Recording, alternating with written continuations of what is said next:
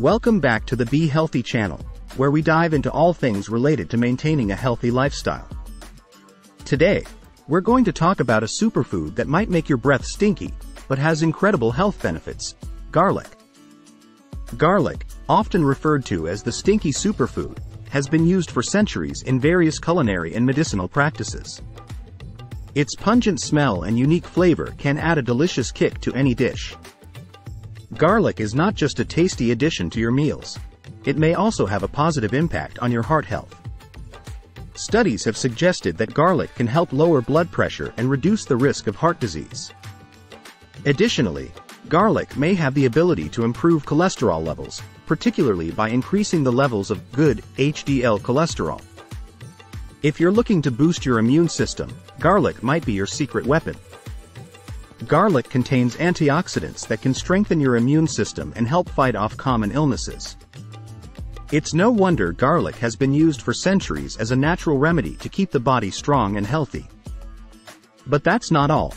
Garlic has also shown promise in reducing the risk of certain types of cancer. Studies have indicated that regular consumption of garlic may lower the risk of stomach, colon, and even prostate cancer.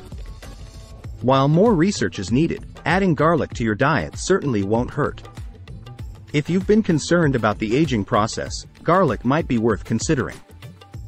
It contains antioxidants that can combat the free radicals in your body, which contribute to aging and various diseases.